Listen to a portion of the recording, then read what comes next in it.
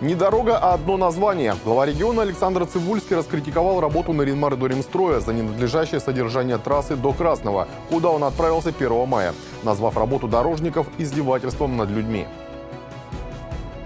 Мир труд май. Наринмарцы отметили День весны и труда. На шествие и митинг-концерт пришло более трех тысяч горожан. Молодежь выбирает ЗОЖ. В Наринмаре прошел пятый фестиваль здорового образа жизни. Здравствуйте с обзором основных событий этого дня в студии Иван Никонов. Руководству Наринмар Дуримстроя грозит увольнение. Предоставить заявление по собственному желанию руководителю предприятия предложил губернатор округа после поездки в поселок Красное. Александр Цибульский отправился туда 1 мая.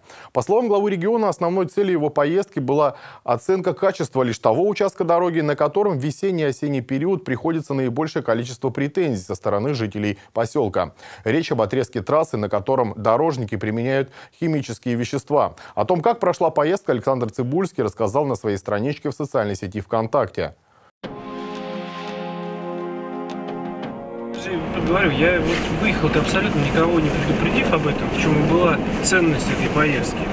И там не было ни одной техники. Стояли, вся эта техника стояла без водителя, и никого не было. По дороге невозможно было проехать. В принципе, невозможно было проехать. Там сугробы были величиной с машину. Мы не смогли на вот этой вполне проходимой машине проехать по, по дороге безобразие. Называется «Потемкинские деревни». В истории есть такой термин, очень хороший.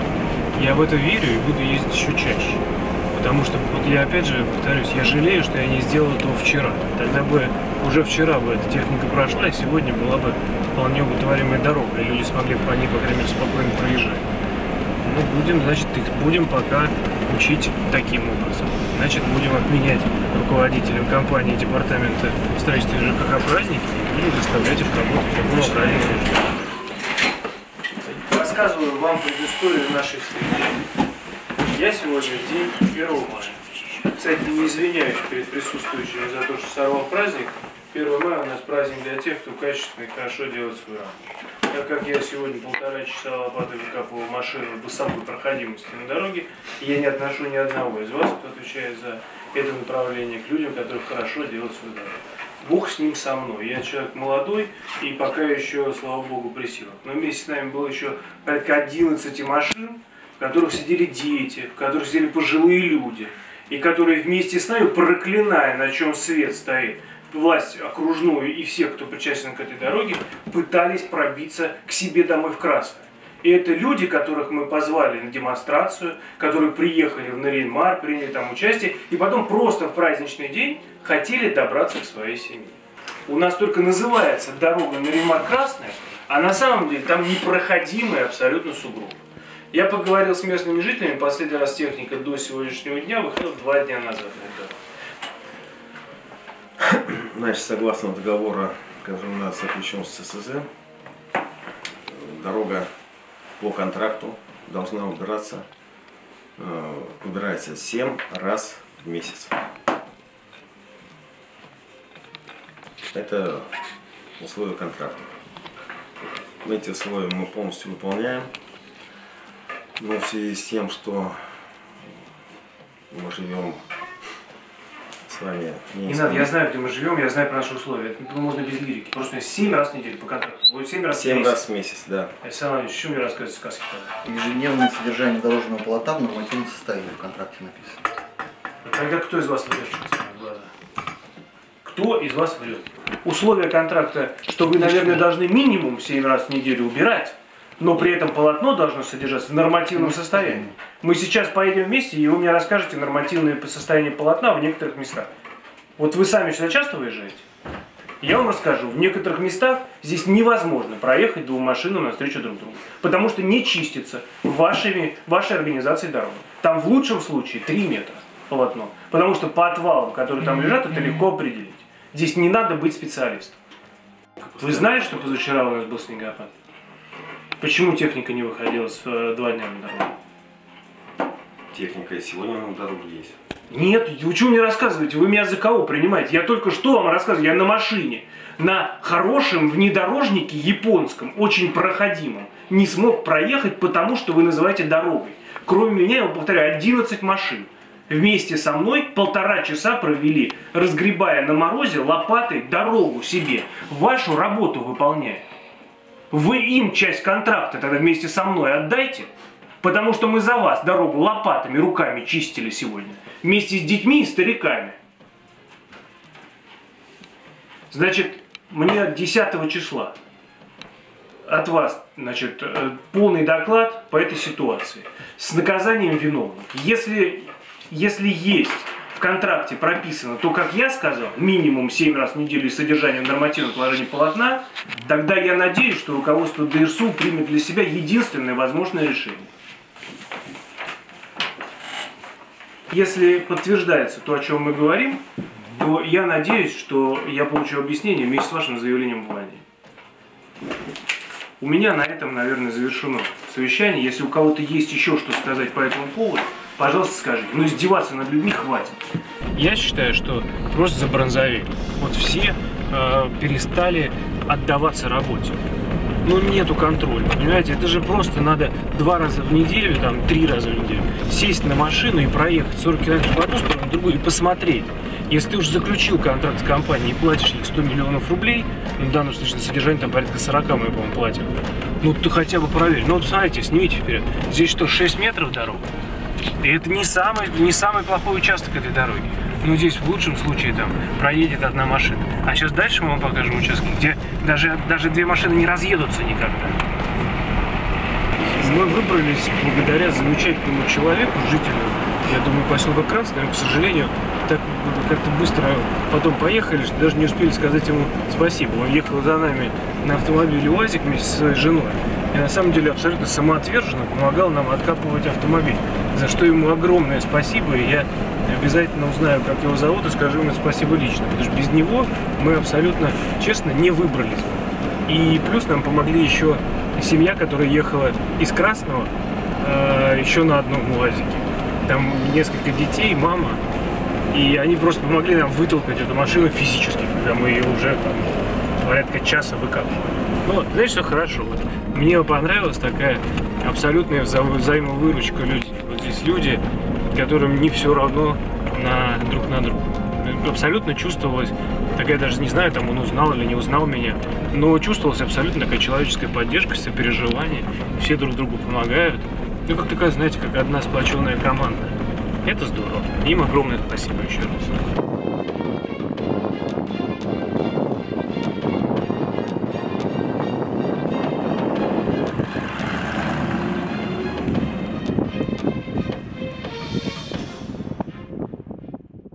Реальные дела в экономической и социальной политике, обеспечение граждан доступным жильем, повышение качества услуг в сфере ЖКХ, здравоохранения, образования и науки и решение демографических проблем. Выполнение майских указов президента России Владимира Путина в Ненецком округе обсудили на заседании, которое прошло под председательством главы региона Александра Цибульского. Отчет об исполнении майских указов предоставила вице-губернатор Татьяна Лагвиненко. Из 40 целевых показателей, определенных указами, по итогам 2017 года в Ненецком округе достигнуты плановые значения по 33. Среди сфер, где показатели не достигнуты, образование и наука. Не получилось достичь результатов по повышению квалификации отдельных категорий населения. Плановое э, значение не достигнуто. При плане 37 факт составил 9,9%. Здесь также источником э, данных является выборочное обследование Росстата путем опроса населения. Э, получается, что по факту мы считали, что это должно быть выполнение, но, к сожалению, выборку попали те, которые, наверное, не проходили повышение квалификации. В сфере здравоохранения из пяти целевых показателей не достигнуто одно – это младенческая смертность. На 675 родившихся 5 случаев. В социальной политике из 12 выполнены 9 зарплатных показателей. В целом рост реальной зарплаты населения относительно 2011 года с плановым показателем в 140% в 2017 году составил 98%. Недостижение обусловлено значительным разрывом между уровнем инфляции и темпом роста реальной заработной платы. Три тысячи наринмарцев вышли на улицы окружной столицы в День весны и труда. Традиционное массовое шествие и митинг-концерт собрали более ста трудовых коллективов города, а шестерых лучших представителей своих профессий наградили за многолетнюю добросовестную, успешную и эффективную работу на благо Ненецкого округа. Более 100 трудовых коллективов и порядка трех тысяч человек вышли на первомайскую демонстрацию в Нарьинмаре. Праздник труда и весны – один из самых старых в России. Первый Первомай праздновали еще до революции. Например, рабочие лесопильного завода «Стелла Поляри» вышли на демонстрацию в 1907 году. Официально же праздновать его начали 100 лет назад, в 1918 году. И сегодня, как сто лет назад, невзирая на погоду, а она совсем не радовала митингующих, трудящиеся вышли на городские улицы в едином праздничном порыве. Большинство колонн претендовало на участие в конкурсе за лучшее оформление. Наш э, детский сад называется «Семицветик», ну и мы решили все-таки обратить внимание на цветочки, на радостную весну, мы ее ждем. Всех поэтому и поздравляем, тогда уже пользуясь случаем, всем цветов, радости, весны и труда. Рабочую молодежь подрастающее поколение, которое готово работать на благо нашего округа. Вот будущие сварщики наши сегодня идут в колонне со всеми вместе, как будущий э, резерв молодых кадров. Злой болезни ответ дадим. Туберкулез мы победим! Вот вам и ответ. Компетентное жюри оценивало подготовку трудовых коллективов, оформление колонн, праздничный настрой. Да, в принципе, да, есть колонны очень таки выделяются хорошо и массовостью, и оформлением. А в принципе, это нет вообще маленькие колонны, не оформленные. Так что здесь, ну, если у колонн 5-то уже есть, которые уже должны быть. Из них мы уже будем выбирать. Со сцены с праздником жителей округа поздравил в Рио губернатор Александр Цибульский, а также представители законодательной власти субъекта, крупнейших муниципалитетов округа и трудовых коллективов. Если каждый из нас будет делать свою работу, трудиться действительно на полную, что называется, катушку и с полной самоотдачей, мы действительно сможем написать и новую историю нашего округа, и новую историю нашей страны.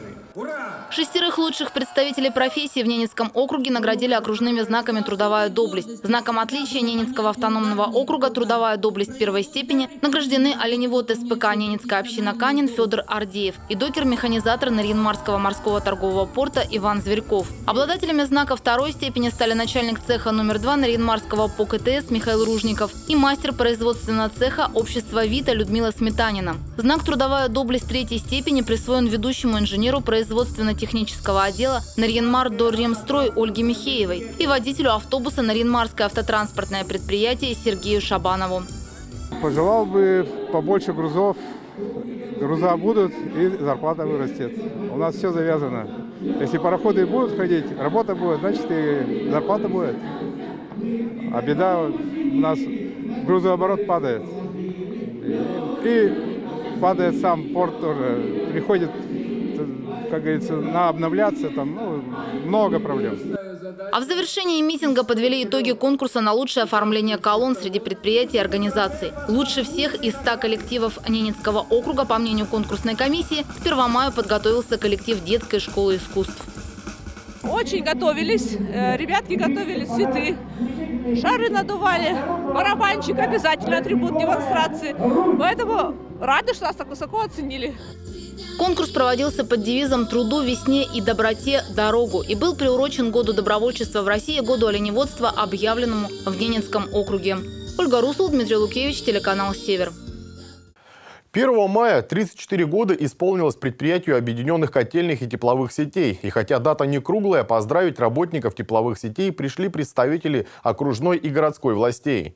Главное коммунальное предприятие Наринмара, предприятие объединенных котельных и тепловых сетей, образовано 1 мая 1984 года на базе шести газифицированных котельных. Его основными функциями являются водоснабжение, водоотведение и отопление в городе.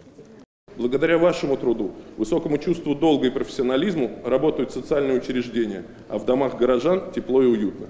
Примите пожелания дальнейших успехов, пусть опыт и целеустремленность определяют новые цели, а интуиция подсказывает наиболее эффективные пути их достижения.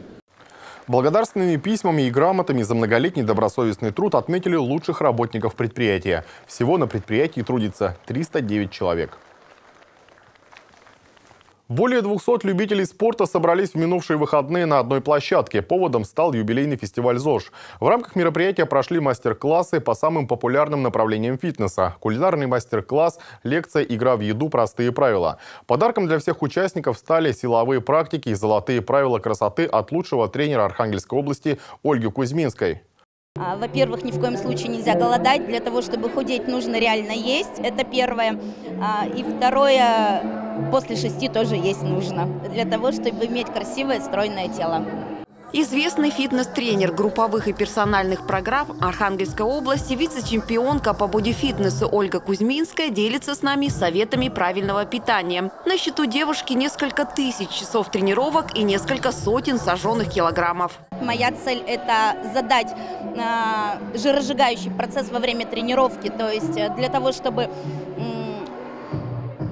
грубо говоря, без оборудования, без а, каких-то штанг, гантелей мы име- можем, все-таки мы можем начать э, прорабатывать свое тело, укреплять мышечную массу и сжигать жиры. Наверное, самый мой такой шикарный результат. За полтора года мы с девушкой похудели со 130 килограмм до м, 67.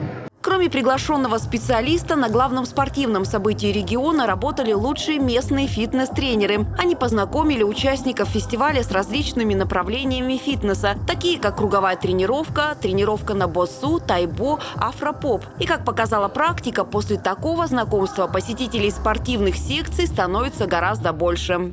Почему посещаю? Потому что, во-первых, э, это фестиваль ЗОЖ. Естественно, мы все за здоровый образ жизни. Э, Здесь встречается очень много знакомых лиц. Это общение, знакомство с новыми людьми. Это сплочает. Такое массовое спортивное сплочение происходит уже пятый год подряд благодаря главному организатору праздника – региональному центру молодежной политики и военно-патриотического воспитания. В юбилейный год сотрудники центра особенно постарались, подготовили для участников разнообразную программу. А, Будет танцевальный класс, у нас будет общая разминка, а, э, потом у нас будет класс представлен по хатха-йога, и э, кулинарный мастер-класс, и также вот лекция по рациональному питанию. То есть мы будем учить сегодня людей, не, не нужно загоняться никакими диетами, а нужно просто нормально кушать, и все. Объясним самые простые принципы, которые, в принципе, всем известны, нужно их еще раз повторить. Также для каждого участника организаторы главного фитнес-события года приготовили подарки – футболки с эмблемой фестиваля с надеждой, что этот элемент спортивной одежды они будут надевать как можно чаще. Любовь Пермякова, Леонид Шишелов, телеканал «Север». И на этом все. Новости вы можете увидеть и на нашем сайте адрес trksевер.ру. Далее смотрите прогноз погоды.